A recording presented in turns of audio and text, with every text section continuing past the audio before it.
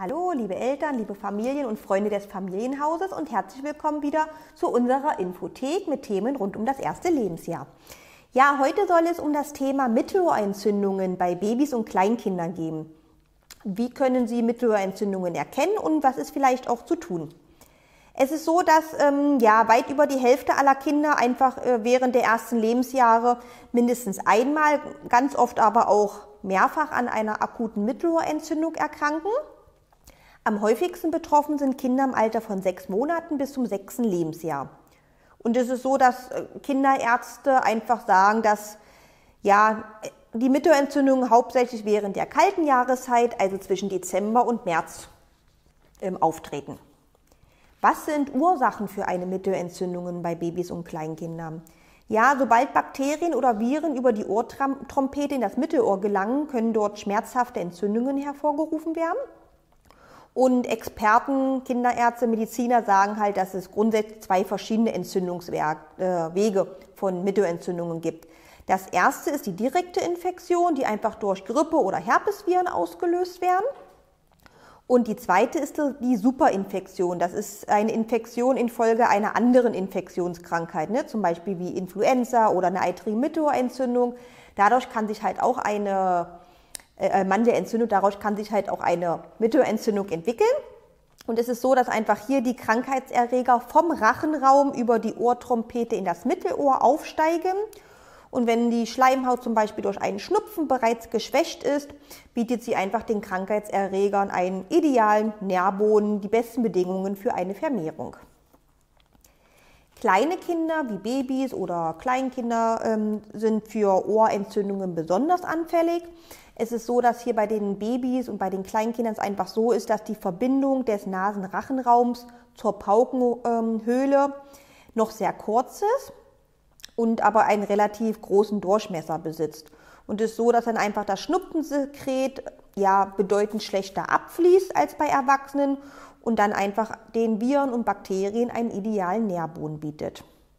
Ja, infolge der durch den Erreger hervorgerufene Entzündungen kann es einfach sein, dass die, äh, die Schleimhäute weiter anschwellen und dass das infektiöse Sekret überhaupt nicht mehr abfließen kann und dann zunehmend das Innenohr von Babys und Kleinkindern verstopft. Ähm, ja, welche Faktoren können das Risiko für eine Mittelohrentzündung erhöhen? Es ist so, dass gerade Mittelohrentzündungen bei Kindern oder Babys auftreten, die vielleicht immungeschwächt sind, die Allergien haben. Bei Kindern und Babys mit vergrößerten Rachenmandeln äh, treten Mittelohrentzündungen gehäuft auf. Übermäßiges Schnullern fördert Mittelohrentzündungen, Passivrauchen und auch eine Gaumenspalte. Ja, charakteristische Symptome einer Mittelohrentzündung bei Babys und Kleinkindern ist es so, dass erkrankte Kinder oft sehr unruhig sind und, sich, und auch viel weinen. Ganz oft, ja, erkennt man das auch so ein bisschen daran, dass die Kinder sich ganz oft ans Ohr fassen, ne? wie man hier auch auf dem Bild sieht. Die, die ganze Zeit, das Ohr tut weh, die Kinder fassen sich ganz häufig ans Ohr. Und mit, dem, ja, mit, der, mit der Mittelohrentzündung sozusagen ist es auch so, dass jegliches Berühren des Ohrbereiches überhaupt zu Weinen führt. Viele Kinder verweigern auch, verweigern auch die Nahrung. Kleine Babys werfen ihren Kopf so nach hinten und schubbeln ihre Ohren so ein bisschen an dem Kopfkissen vielleicht. Große Kinder können dann schon wieder über heftige pulsierenden Schmerzen in den Ohren klagen. Meist wird eine Mittelohrentzündung mit von weiteren Symptomen begleitet, teilweise hohes Fieber, Durchfall, Erbrechen. In einigen Fällen kann es auch sein, dass aus dem Ohr eitriges, äh, blutiges Sekret läuft. Das ist dann schon ein Anzeichen für ein eingerissenes Trommelfell. Und es ist einfach so, äh, wenn das Trommelfell eingerissen ist, wenn da Blut, äh, blutiges Sekret ausläuft, dass einfach durch diese Druckentlastung, das Trommelfell ist geplatzt, die Schmerzen schlagartig verschwinden. Wenn Sie den Verdacht haben, dass Ihr Kind vielleicht eine Mittelohrentzündung hat, ähm, ja, ist der erste Weg zum Arzt. Sie sollten die Symptome von Ihrem Kind immer ernst nehmen und Ihrem, das Kind einem Arzt vorstellen. Es ist ganz so, dass unbehandelte, verschleppte Mittelohrentzündungen unter Umständen chronisch werden können. Das Innenohr kann nachhaltig geschädigt werden und kann schlimmstenfalls auch zu einer Schwerhörigkeit führen, was natürlich sich dann wieder negativ auf die Sprachentwicklung von Ihrem Kind auswirkt. Ähm, außerdem besteht die Gefahr auch, dass die Mittelohrentzündung auf die Gehörknöchelchen sich ausbreitet und diese nachhaltig beschädigt. Das heißt, das kann ebenfalls zu einer dauerhaften Schwerhörigkeit führen. Das heißt, da definitiv auch Ihrem Kind einen Kinderarzt vorstellen. Der Kinderarzt wird ähm, ja die Ohren Ihres Kindes mithilfe von einem Ohrspiegel untersuchen und einfach gucken, ähm, ja, ob es vielleicht um sich um eine Entzündung der äußeren Gehörgänge handelt oder ob vielleicht wirklich eine Mittelohrentzündung vorliegt. Ja, wie behandelt man jetzt so eine Mittelohrentzündung? Es ist so, dass alle Medikamente grundsätzlich ja für Babys und Kleinkinder geeignet werden sollten und sie auch immer in Absprache mit ihrem Arzt geben sollten. Bei Mittelohrentzündungen empfiehlt es sich, wenn es sich um einen bakteriellen Infekt handelt, eine Antibiotikabehandlung. Ähm, abschwellende Nasentropfen äh, sind gut, einfach um das Mittelohr wieder gut zu belüften. Es ist so, dass es schleimlösende Präparate gibt, dass der einfach der ähm, Schleim, der sich in der Ohrtrompete an, ansammelt oder angesammelt hat, besser abfließen kann.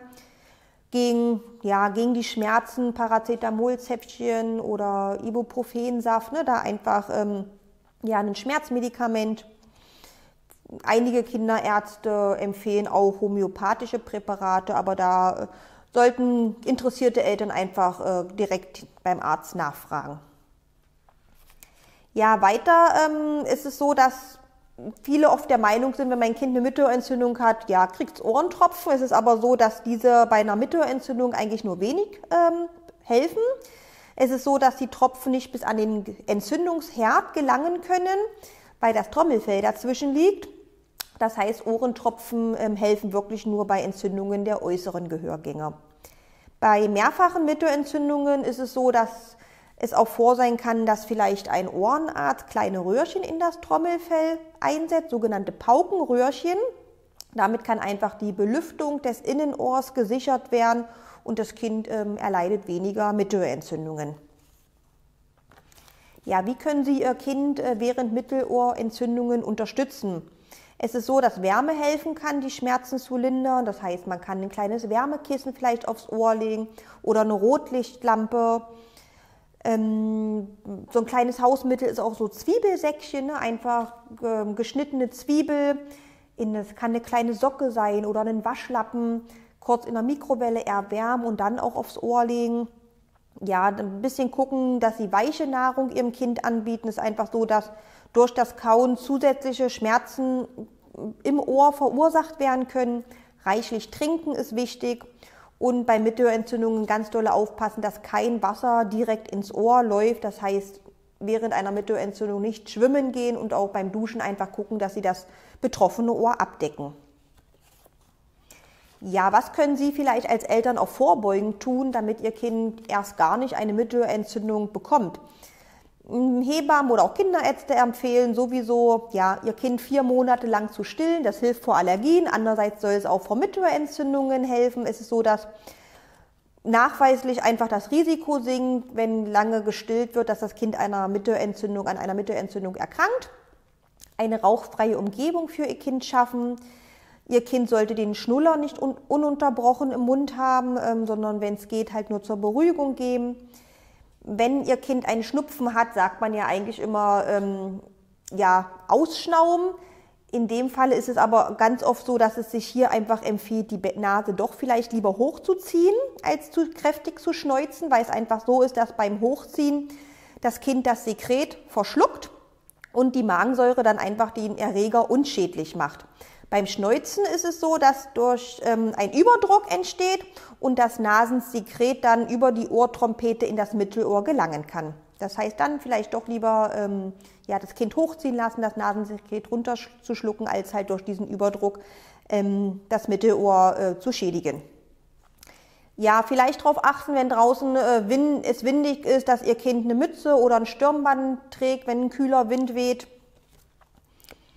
Genau, zum Schluss einfach nochmal zusammenfassend zu sagen, die Mittelohrentzündung zählt zu den häufigsten Kinderkrankheiten.